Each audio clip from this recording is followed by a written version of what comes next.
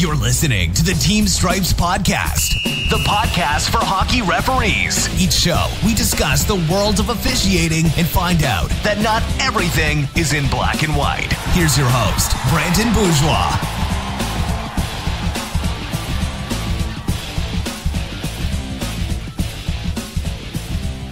Paul, I just wanted to thank you, uh, first of all, just for, for helping us out and, and chatting. Um, just for our, our listeners out there, uh, Paul has officiated over 1,000 regular season games, 49 playoff games. He's worked the Canada Cup in 1987 and 91, as well as two All Star games. And uh, Paul, I just was uh, wondering if you could fill in maybe some special memories for you and uh, you know some special experiences in your time as a referee in the NHL. Well, as you mentioned, the '87 Canada Cup Game Two, all of the three games in that series ended in six-five and my game was in game two was double overtime. I, I disallowed two Russian goals. I put Canada down two men in the first period. Uh, Alan Eagleson accused me of not helping Canada, which I didn't know that was my job. I thought I was there to referee. and uh, fortunately for me, and the way that the game was played, that Kamensky and Fetisov and Larionov and uh, on the Amer- on the Canadian side, Bourque and, and Gretzky and, and Lemieux had nights that people dream about. And of course, Gretzky had five assists and Lemieux had a hat trick. And I think you look, and Grant Fuhr played out of his mind. So when you look at all of these things and you say uh, which game stands out, that would be one. The other was my first game in the NHL, which was not a game that I was I was assigned to. I was assigned uh, to observe with John McCauley watching Montreal at Boston the last week of the regular season with the Canadiens and the Bruins fighting over second place, which in those days in the Adams division was home ice for the Stanley Cup playoffs. Well, I disallowed what was a Bruins goal after I went in to replace the injured Dave Newell in the second period. I was on the ice for 30 seconds and disallowed the goal. And subsequently knew that I might have been a little quick on the whistle. Well, I still had to do about another 30 minutes of that game, and as John McCauley, the late great uh, director of officiating, said to me that I didn't fail him, and I refereed the game and went about my business, and I think I set my mark there, which was. I, I had enough guts to make the tough calls and live with them and move along. And uh, I, I think those two games, and certainly the comeback game I had on November 13th in 1998 when I came back from my stage three colon cancer, and I had been told that I, I wasn't going to live six months, and I was able to survive and make my comeback in Jersey with uh, the Penguins playing, and Jagr came out and gave me a hug, and I I'll never forget that night and how terrific it was just to be able to be back skating. And a lot of people don't know that I was doing those games and I was taking a daily dose of chemo, both in the morning and at night. And chemo, as people may have known from their own personal experience or or from what they've heard, is pretty tough. It's debilitating. But there was a certain something about me, a tough meant that I was up for the challenge, and away we went. When you got back to refereeing games, how did that change your perspective? Did it change you as a referee? Did it did it harden your resolve? I mean, what were the challenges that you faced around that? Well, the physical challenges were just being able to keep my meals down and not be so fatigued and dehydrated and all of the things that happen because of the ravages of that disease and the medicine. Sometimes the cure is worse than the illness. But in my situation, if I hadn't had the chemo, I probably wouldn't be talking to you right now because I was that I had a second tumor on my liver and I had a primary tumor in my colon. And I think because of the the medicine and the surgery and my physical conditioning, I was in great shape going in that I was able to fight off the disease and the effects of the chemo and the chemo was the only thing I think that, or at least I was told by the doctors, that gave me a chance to survive. I think a lot of listeners out there that are listening, a lot of games they work, they might think that there's no allies for them out there, but I'm wondering if you could talk about, you know, the family aspect of the game of hockey. Well, I think you're absolutely right you're absolutely right that there is a family aspect and a lot of people don't understand that even in the best of families that we do argue and we do have moments where we're not getting along so well. But as i've explained to a lot of people we who are in hockey uh, uh, up to our chins in it at least or very top of our heads understand that friction is part of the game and we love the friction and that we confront each other and then afterwards we let it go and it's done but as fierce as as the competition and as fierce as the friction is, so too is how great the loyalty is amongst hockey people. And that even though I may have called a bad penalty against the Bruins, when I came back to Boston, they gave me a hundred tickets for all the people in the hospital that worked on my case and helped me. And they had a huge party for my first game back. And I have to say that, you know, that type of thing brings some tears to my eyes and, and a little bit of humility to, to me that people were that great yeah. when I was up against it. Your story is one that I've known for a while, and it's pretty amazing when you think about it. And switching themes a little bit here, I wanted to get your perspective on how the NHL has changed since your era. How have you seen it evolve, and how have you seen maybe the role of a referee change in that time? Well, on the playing front, the aspect of the equipment has made a great difference in the game. And certainly the goaltending pads, the uh, composite sticks, the lighter weight equipment, the faster drying sweaters. Back in the day when I was playing, the sweaters were actually uh, heavy and wool and they got wet and uh, wasn't a lot of fun. And in the minors, we would throw our bags under the bus and get to the next city and put on cold starch stiffed uniforms that were more ice than they were sweat. And the emphasis now is on speed. It's on uh, a more reckless style. There are less uh, of, of the uh, of the uh, crashing and banging that, that there was in, in the day when the Flyers and the Bruins uh, led the league and in wins and Stanley Cups and all of those things, but also they had skill. When you think of the 70 and 72 Bruins and you think about Bobby Orr, well, probably, if not the greatest, one of the top three greatest players that ever played. And you look at other different players along the way that were extremely skilled, but they also had a degree of toughness. But there was a, a, a more of a, a semblance of system versus uh, now it's it's speed and of course the red line's gone and then the tag up rule. So the the the whole dynamic has changed. The game's changed. It's not what it was. Yeah no, and i'm not saying that's a bad thing but i'm just saying that that's the way that the owners and the general managers are crafting their, their clubs. The other aspect is we see players now prior to the game doing stretching and kicking soccer balls and playing foot hockey and all this other stuff, and their diet is different. Well, we, we were steak and potato guys, and usually before the game, the amount of stretching we did was to reach for the newspaper, have a smoke, and a cup of coffee. And I think that overall, those things and certainly nutrition and off-season training have made it such that that when players arrived at training camp back in my day, and even the referees, we went to camp to get in shape. Now the players come and the officials come in shape. Dave Smith works with the referees now, and he's been with them for 20 plus years, and he's the trainer, and he keeps an eye on the conditioning of, and the injuries of, of the officials. Back in the day, we relied upon the home team uh, trainer or athletic fitness person to to help us, you know, with our pulled groin or our stiff back or take the stitches out of our chin or whatever the case might be. And as I tell people, a lot of people don't perhaps get it, but you know, I, I, I was on the ice in those days. I had little little elbow pads, little little shin pads, a cup, a whistle, a sweater, and a pair of wool black wool pants. That was it. There were no equipment. There was no helmets. There were no visors. There were no mouthpieces, and we just played the game or we refereed the game.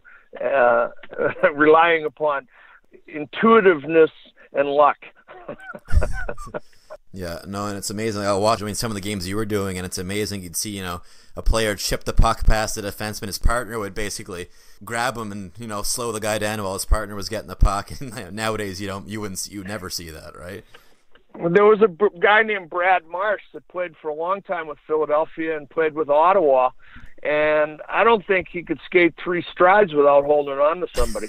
and the fact is that we, I used to say to him, "Did you get enough crazy glue on your gloves tonight?" And, and we would laugh about that. But uh, you know, everybody had their forte, everybody had their game, and uh, it was, you know, partially uh, like a Gordie Howe going into the corners. You knew that if you took the puck away from him, you were going to get an elbow in the side of the head. So there, there was a certain aspect to the game that people looked forward to, and I I would say that overall, I was one who learned quickly and adapted rapidly. One one big thing you were talking about athleticism, and when you're doing three man, is that harder than doing four man today?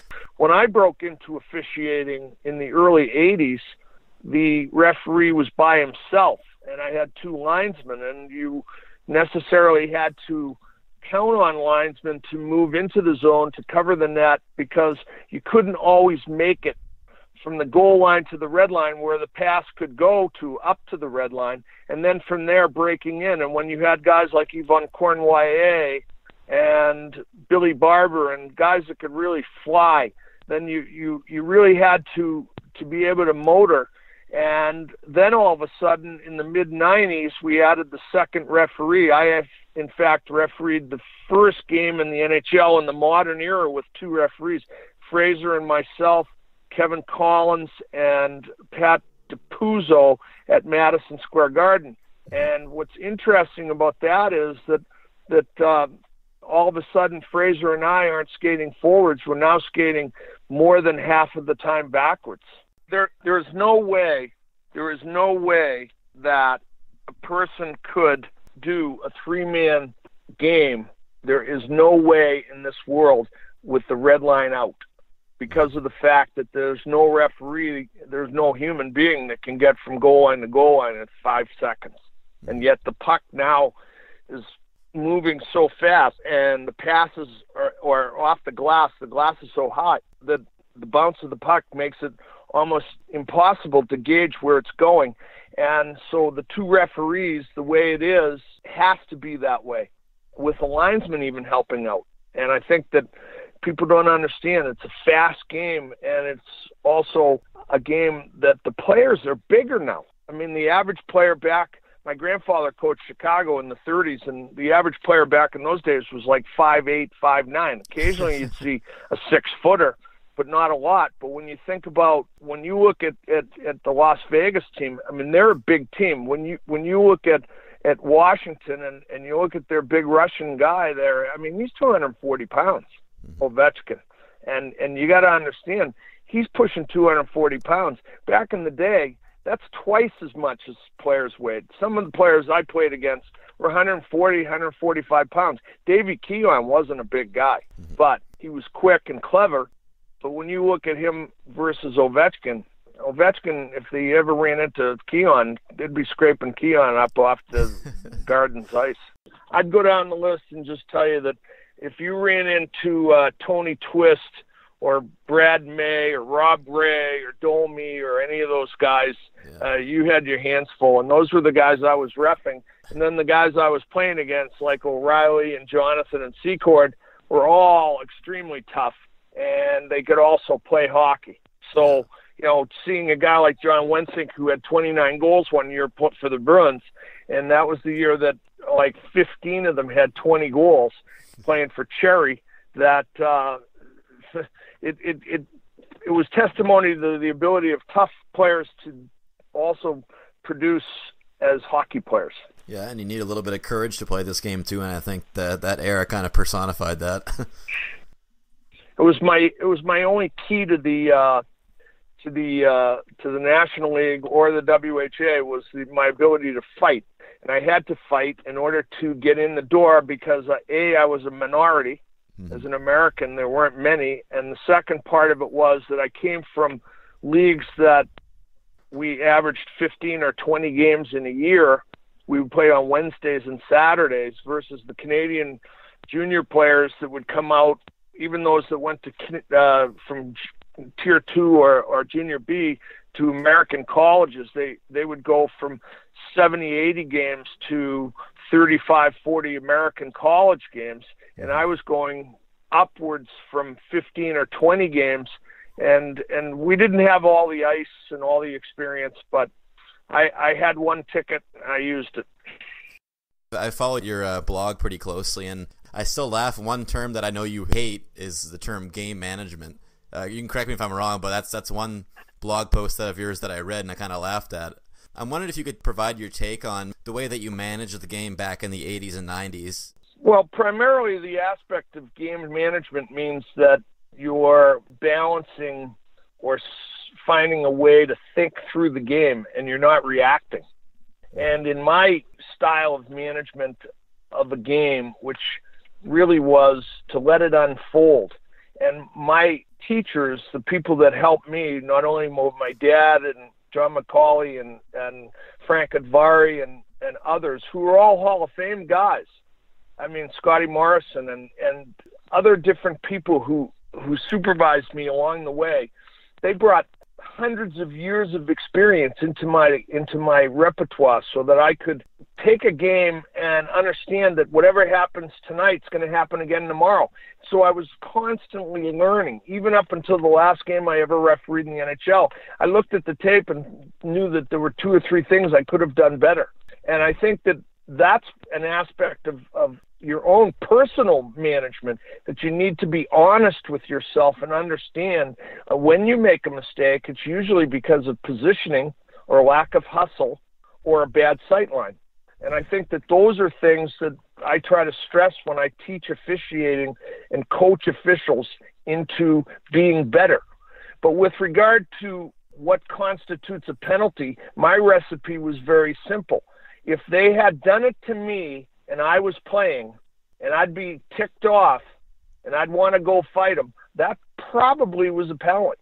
Mm-hmm. If they did it to my teammate and I wanted to jump the bench and go out and beat the tar out of them, that probably was a penalty. And last but not least, if I was sitting on the end of the bench and my teammate did something stupid to a guy on the other team and I put my hand across my eyes and said, My gosh, why did he do that? Then no doubt that was a penalty. Mm-hmm. So those are the things I tried to bring into the soup so that when it when it all came out, it tasted the way I wanted it. Not too salty, not too hot, just right for me. and, I uh, had to be consistent with me.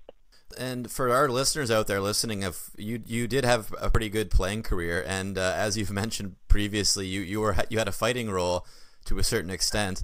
And I'm curious when you made that transition from player uh, to referee, did that help you at all? I mean, it helped me, but it hurt me sometimes too because uh, one of my first games in the American League, the Islanders had Springfield as their farm team, and Al Arbour was down to watch some of the games, and he was sitting with Jack Butterfield, who was the president of the league, and Gordy Anziano, who was the vice president of the American Hockey League, and it's the old Springfield uh, Indians, which were then I think the Falcons. But long story short, two guys dropped the gloves and they started shadow boxing and going around and around. And 20 seconds went by and 30 and then 40 and finally I said hey you two guys either start punching each other. I'm going to take this whistle off and kick the hell out of both of you. Well the management really didn't didn't find that as amusing as as as the players on the bench did. But you know that was my style and I brought into the game a, a little bit of of my knowledge of having played and watched. And I was the reason there was a referee when I was the player. So, you know, I understood all the different roles, and I had been playing with a lot of great players, Mike Gartner and Messier and and uh, Robbie Ftorek and Tardif, and I played with a lot of great players and played against a lot of great players. So there were I played against Frank Mahovlich, Gordie Howe, Bobby Hull. I mean, th- these are legend names, and when you look at at the various things that they did, and then I would see players out there flipping and flopping and trying to, you know, a bunch of flounders. That you know that would sort of tick me off, and I'd I'd skate over and say, "You stay on your feet, or I'm going to skate right over your face." and uh, you kind of bridge the topic that I wanted to talk about, and uh, you're bringing back all these memories, and you know you get the vivid image of the referees out there that had personality. Back in the day, you guys had the name bars on there; everybody knew who you were. You know, you could have a Kerry Fraser out there, a Paul Stewart out there. You had a reputation, and you you know you had a relationship with players. Whereas nowadays, at least to my eyes, it doesn't seem like there's that relationship uh, with a lot of guys. Do you see that, and do you find that's hurt the game at all, or that plays a role? I'm not sure what management in the National Hockey League tells players. I don't know what management in the National Hockey League tells referees and linesmen. I don't know because it's not what I tell my people. I tell my people when you get to the rink and the game starts at 7:05, you don't start refereeing until the players tell you they need you, and they'll tell you by their actions. They're going to show you that they need you, and that's when you step up. Until then, you're just a paid observer, and just watch the game and let it unfold, and allow the players to feel themselves out and get their legs going. And then along the way, you know, if somebody says something, I, I, I said to a referee the other night that he called a two and a 10 on a guy. And I, I said to him, what did he say to you? He said, well, he called me a no good this and a no good that with a few expletives. And I said, well, maybe you are that. and he, he looked at me with this look and I said, you know, maybe you are a bit of a dink. Maybe you are a bit of an ass. I said, why wouldn't you just turn around and say to the player, okay, you've made your point. And then I would have turned and said to the coach, uh, what time are you going to start coaching this guy? Because if you don't want to coach him, I'll just sit him on the other side for 12 minutes. How's that? Yeah. And then I would skate away and put the onus back on the coach. And I think that these are things that I had a little bit of, of, of panache, and nobody could question my toughness. And there wasn't anybody that put on a pair of skates that was going to intimidate me. Not even the guys that didn't put on skates, such as the icons, Scotty Bowman or, or Pat Quinn or or Mike Keenan or any of those other Harrison. And none of those guys were going to scare me out of the rink. And I'm going to tell you, they paid me to do the job, and I earned it. I earned every penny, and I never gave anybody less than a hundred percent. Yeah. So you're saying here you never back down. I mean, uh, I would assume you're probably using a little bit of humor with these guys. I mean, what what are sort of the things that you're teaching your your officials now uh, in terms of like communication? What are what are the big things that you're you're stressing to to your to your guys in stripes? Well, you're not a traffic cop. Don't put your hand up and say I'm not talking to you. Mm-hmm. What you do is you the coach is barking at you. You call the captain over and say your coach has a lot of. Uh, things to say. Tell him to calm down, and I'll talk to him in a minute. But if he keeps putting on a show, he might be the only show in the in the washroom because he'll be in taking a shower, and uh, we'll be out here. Right. No, seriously. And I've I've said I, I've said to my people, you know, you have to have a tolerance and a patience. Remember, you're 40, and that player's 18. Mm-hmm. You wouldn't give him the keys to a fast car and tell them just go drive any way you want as fast as you want. So you got to understand they're going to make mistakes. You're 40. You should be smarter than them. Use your brain. Use your experience. And that those are the things that I try to boil it down to to make it more human and more simplistic so that they understand that this isn't life and death and they don't have to be Adolf Hitler every night that they step on the ice. And they uh, last but not last but not least, I had fun out there. I enjoyed the game. I loved watching the players play. And I, yeah, if I kibitzed with them, so what? Because I might say to a player that that was one of the greatest shifts I've ever seen. Or another guy, you know, I'd say, "You really going to fight him?" I said to a kid one night, first shift, he's standing there and Gretzky's on the other side. I said, "Hey, kid, is this your first game?" He goes, "Yeah." I said, "And do you really think you're going to win this face-off?" Amazing. Huh? So you know, you you sort of have some fun with this, and and remember, it's a game. It's a game. Yeah. Um, and no, people want to be entertained, yeah. so entertain them. Yeah. No, I, I agree with you. And like a lot of our podcasts here, the whole idea was to try and start teaching officials. And you know, get the great knowledge that guys like you would, would be able to tell. I know you were involved with college hockey now, and you've been involved with the uh, Continental Hockey League previously in uh, teaching officials and you know being a supervisor. Um, and I'm wondering uh, for our listeners out there if you could talk about what is it that you look for in uh, aspiring referees. I look for first of all fitness. Conditioning allows for positioning. You have to remember that a game of hockey is not a sprint; it's a marathon, and you're going to be out there for at least 60 minutes. So you better be in shape. That's the first thing. Second thing, Frank Udvari said this to me excuses are for losers. If you make a mistake, own it. Get into the game and allow the players to understand that you're sweating, you're working, and when they turn around and start to argue, you have your arm in the air and blow the whistle for penalty, and you're seven feet from them, how are they going to argue with you? Mm-hmm. So you get to the action and feel the game. Anticipate.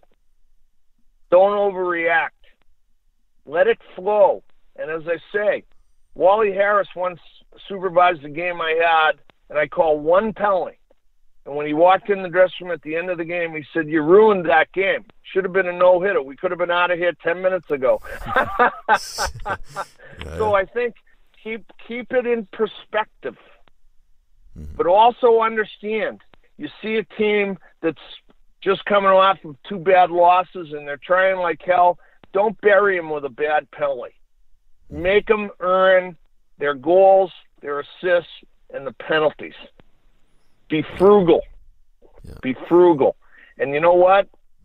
I still have the case that I got my first whistle in. I barely used it, so I I can give it back anytime they want it. still shiny and new. yeah, still shiny. Yeah. So that's, uh, I think, really good advice. And I'm wondering for, for guys that are thinking about refereeing, because you came from a playing position to referee, and certainly I think the NHL has really promoted bringing in former players. What's your take on that? Is, is that a big push for you as well? Well, it's not necessarily the former players. You're hoping that they have the greatest love for the game, that they played and played as long as they could and that their love for the game will translate into them wanting to stay in the game. And I tell people that my life in hockey is more like a big pizza. Each slice that I've had, I've driven the Zamboni, I've sharpened skates, I've made the ice, I've swept the seats, I've painted the toilets, I've done all that stuff. Seriously. I've yeah. driven the bus. There's not too much I haven't done in the game. I've done radio, TV, I've done the playing, I've done the officiating, and I've done the coaching. And the fact is that if you love the game, you want to stay part of the game. And I look at a person like King Clancy, who played for Toronto, and he was a coach and a general manager and all of those things, but he also refereed. And I think that there's no job too big, no job too small. And that if you're part of the game, you should be happy in that. And I can promise you, there isn't a job in the game of hockey that I couldn't do and do successfully. Why? Because the last thing I would want to do is disappoint myself or hurt the game. And at this stage of my life, and what I'm doing with the officials, the three or four hundred I have here, and my legacy will be for them to have a smaller learning curve to go from being inexperienced and making capable of making mistakes to being experienced and able to keep the flow going. The best thing I tell referees is positioning sells calls, excuses are for losers, and last but not least, a moving puck is your best friend. When the puck stops, that's when all the crap starts. Yeah. I heard this great analogy, I guess, once from Ron MacLean, who said refereeing a game is like holding a bird. You hold it too closely, you can kill the bird. You hold your your hand too open, the bird flies away. I mean, what what's sort of the general takeaway refereeing a game? You referee a game, and the rule book is your guide and it's your shield. If you do it by the book and you use it as a guide with your ability to interpret how the players are playing, to feel them out, to get a sense of what the value of the plays are all about. What players are hitting the holes, what what players aren't skating, they're throwing snow, what what all, the fans are doing. All of that comes into it. It's like a, a big palette of paint and a painter painting. on on the on the on the banks of the river, trying to you know Giverny and trying to uh, see see see the beautiful colors. Well, all of this can be you as the referee. You can you can be the guy that that helps shape that painting, but you have to have uh, an attitude of, of of firmness and fairness and courage. And if you have all of that, then I think you're going to to be able to uh, be a successful referee. I, I, I take exception, and I'm going to conclude with this. I take exception to people that say the best referees are the ones that referee a game and the next day you didn't know who they were. That may be good, and it might be a great statement for those that are refereeing in a game where nothing happens. But a really good referee is one that has enough courage to stand right out in the middle and disallow the winning goal because he's right. No, that's, and uh, that's, that's, what you need to find. Yeah. No, I think that's Paul. That's that's great advice, and uh, uh, certainly we appreciate your time to help our listeners and to improve and to uh, gain an appreciation for the game, and certainly to share your memories and experiences um, as a national. I'll tell you my last secret. Sure. my last secret, and this is it. This is the this is the uh, this is the the Albert Einstein secret. E equals mc squared. If you can skate, and that's key, and you can go through the whole game and not worry about whether you're forwards, backwards, left foot, right foot, turning inside, turning outside. If you can maneuver and skate all night long, and you're one of the best skaters out there, there'll always be a job for you. Certainly, like I said, we appreciate your time, and um, I guess good luck in, in, in your in your future uh, uh, adventures here, and uh, certainly we uh, we hope to hear from you down the road. All right, see you. Yeah, thanks, Paul. Thank Take you. care. cheers. I know.